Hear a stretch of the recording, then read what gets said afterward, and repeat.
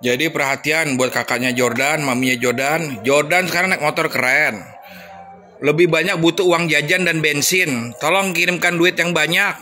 Dia suka jajan sama butuh bensin. Soal motor udah keren, anaknya juga keren. Duit jajan juga harus banyak. Betul nggak?